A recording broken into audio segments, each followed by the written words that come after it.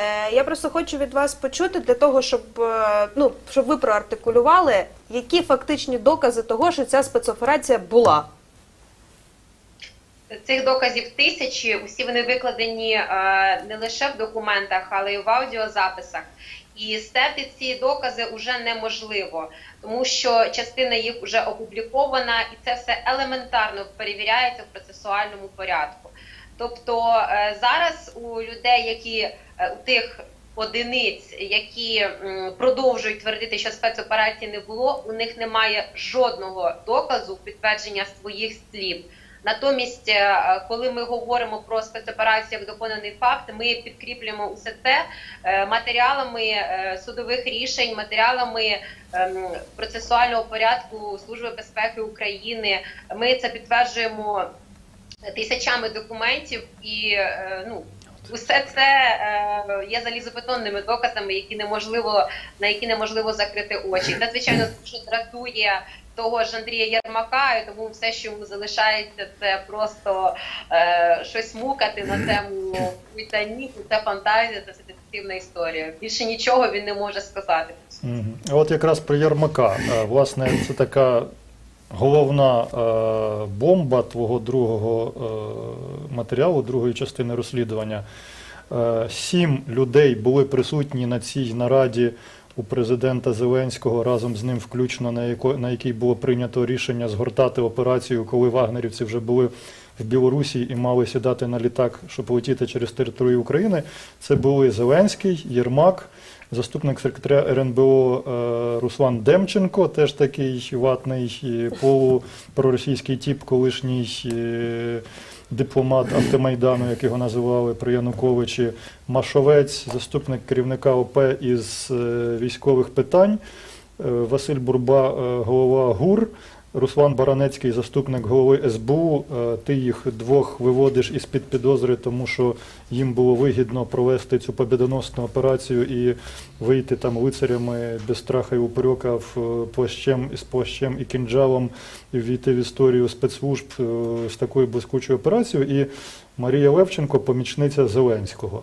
Е, Різними там аргументами, логічними, доказовими іншими, ти підводиш до думки, що цим кротом, е, який злив е, цю операцію росіянам, і надалі вагнерівці були затримані в Білорусі, поселені в санаторій, а потім відправлені в Росію, був Єрмак. Е, нагадування існує про те, що ну це, це просто там настільки, просто це настільки все якоби просто, що от в Єрмака там хто забув або хто не знав, батя працював на е, ФСБ. Єрмак сам досі залишається засновником фірм е, із Росією, із російськими бізнесменами, які входять до Ради Федерації і працюють там на російські спецслужби. І от головна, так би мовити, вишня на торті це роль Єрмака у минулорічній е, операції з Цемахом, який теж був е, цінним свідком у справі MH17, і можна вважати, що минулорічна справа із затриманням Цемаха на е, території Ордо і витягування його на територію України. Це була така перша частина операції з витягу- з вит- з витягування найманців бойовиків, і вона також була провалена, як ти пишеш, е, за безпосередньої участі Єрмака, коли він наполіг на його звільненні і передачі Росії, хоча його можна було не звільняти. Після цього е, Єрмак виступив двічі аж із заявами із своїми безпосередніми, із заявами на сайті Офісу президента, і він назвав це повним фейком. От якщо ти реагуєш е, на його ці от виступи, е, чим ти їх заперечиш, чим ти їх покриєш, і як ти ну ще раз можливо окреслиш роль Єрмака у цій справі? Андрій Єрмак це зрадник України, це людина, яка має сидіти у в'язниці, і е, цьому є докази. Е, На жаль, я не можу публікувати усі документи, які я мала змогу побачити, і на основі яких я писала е, свої твердження у розслідуванні. Позаяк деякі з цих документів носять гриф цілком таємно, і вони навіть не є власністю держави Україна. Е, Але е, знаєте, найбільше в цій ситуації з реакціями Єрмака, е, ну це дуже просто. Поставте собі на місце Єрмака. Вас зломили на гарячому. Про вас написали правду. Ваші злочини викрито. Що ви можете в цій ситуації сказати? Ви можете сказати, що це вихід. Все. Більше нічого ви не можете сказати. Він не надав жодних контраргументів по суті на е, усі ті е, фрази, на весь цей фактаж, який я виклала про його батька, про те, що він є е, співвласником фірми, яка працює разом з росіянином, наближеним до Путіна. Він усі ці факти не спростовує. Абсолютно жоден факт, який я навела у розслідуванні, він не спростовує і не аргументує, чому це не так. Тому що це все підтверджується документально. Тому все, що ми залишаєте, це просто ви говорити, що це все вигадка і це брехня. Не дуже б хотілося на місці Єрмака себе відчувати, якщо чесно. Але Ну, тут питання, я ще хочу поставити питання стосовно розслідування. Окей, є факти, та, які відомі і оприлюднені у вигляді журналістського розслідування. Ви кажете, що є ще документи, які ви не могли оприлюднити.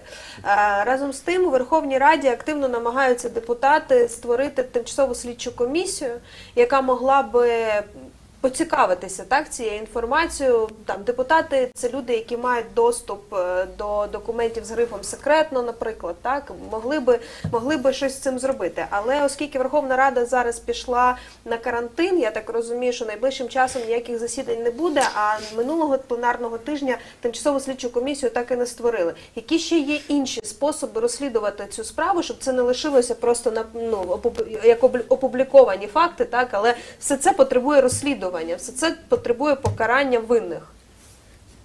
Ну не забувайте про те, що в ДБР також вже відкрите кримінальне провадження, в якому фігурує саме Андрій Єрмак е, по цій справі.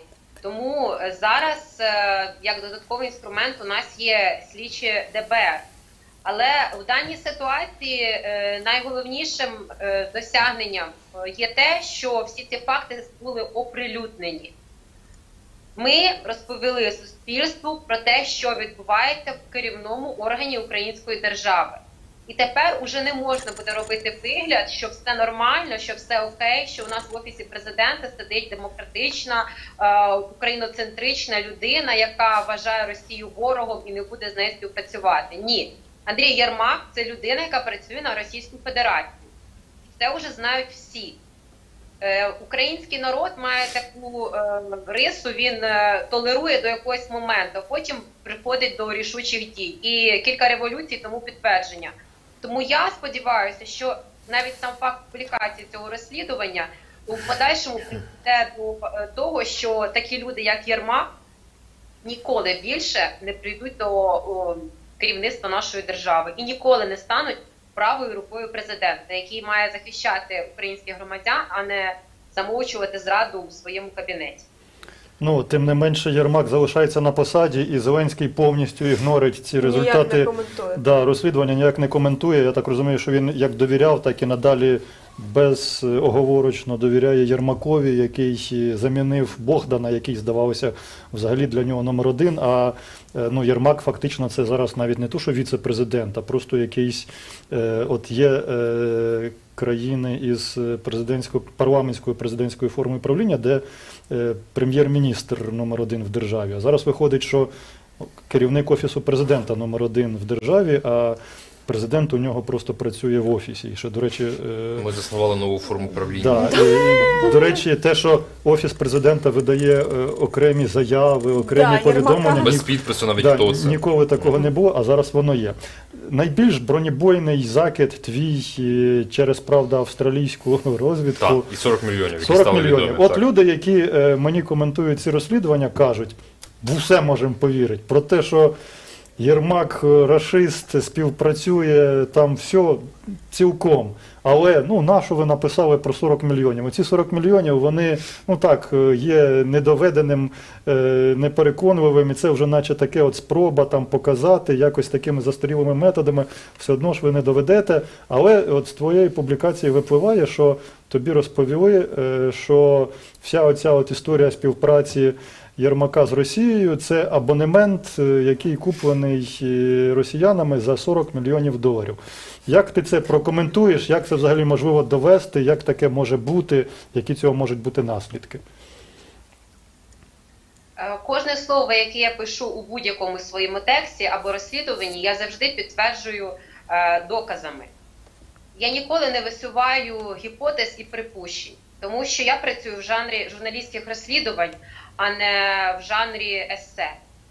І я е, публікувала інформацію про хабар е, Андрію Єрмаку, чітко знаючи, що це відповідає дійсності, поза як я бачила ці докази.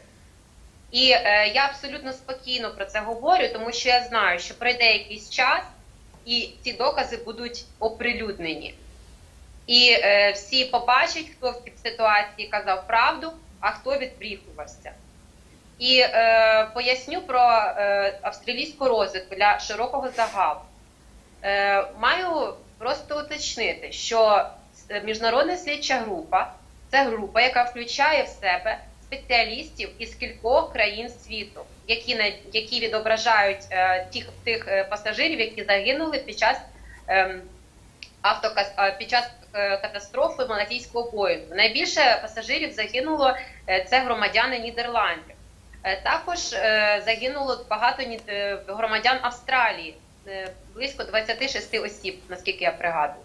І саме тому австралійські спецслужби дуже цікавляться цим кейсом. Їхні представники є у міжнародній слідчій групі. В міжнародній слідчій групи є представники всього чотирьох країн. Тобто це Нідерланди, Малайзія, Україна, Австралія і, вибачте, четверту країну забула. Тому закономірно, що австралійські спецслужби е, також працюють у напрямку пошуку доказів того, е, чому, наприклад, Україна е, відправила одного з найцінніших свідків назад в Росію, не допитавши його належним чином і не отримавши від нього жодного слова про те, які, яку саме роль в всій цій історії мала Російська Федерація і її збройні сили. Е, Будь-яка спецслужба світу, чиї громадяни постраждали внаслідок такої авіакатастрофи, буде докладати максимум зусиль для того, щоб встановити істину і щоб е, розуміти, що відбувається, і не бути обманутим українською державою. Згадайте, наскільки великий був скандал, коли Володимир Зеленський е, сказав, що Володимир Цемах буде переданий Російській Федерації. І, і, Нідер- Нідерланди та інші країни вони закликали Зеленського цього не робити, в тому числі тому, що Цемах так і не надав жодної інформації про причетність про причетність Росії до збиття малазійського поїнгу. Але Зеленський нікого не послухав і все одно віддав Володимира Цемаха. Поставте себе на місце е, тих же Нідерландів або Австралії, чиї громадяни загинули під час цієї авіакатастрофи. Чи хотіли б дізнатися, чим було мотивоване бажання президента Зеленського не е, віддавати Цемаха Російській Федерації без допиту? Саме тому вони і розслідували е, усі ці причини. І коли вони е, дізналися про те, що саме Андрій Єрмак приймав кін- кінцеве рішення про те, що Володимир Цемах має бути переданий Російській Федерації без допиту, звичайно, вони почали е, проводити е, глибоке розслідування і підключати всі свої можливості для того, щоб зрозуміти, чому саме Андрій Єрмак так активно намагався спровадити Цемаха до Російської Федерації. І е, ну лише наївна людина буде думати, що Андрій Єрмак на волонтерських засадах може допомагати Російській Федерації, ну підставляючи при цьому Україну під великий міжнародний скандал.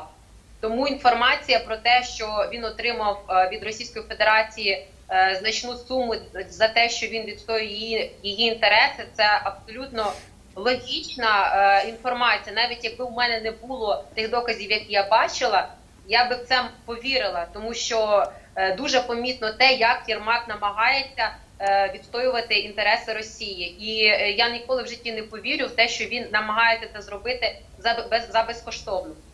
Але повторюю, інформація про те, що е, Австра... е, що е, Рос- Російська Федерація заплатила Єрмаку 40 мільйонів доларів, це інформація не з повітря, а це інформація, яка має підтвердження і дуже серйозні. Тому прийде час, і це все буде показано і доведено ще раз. Ми повернемось до цієї розмови.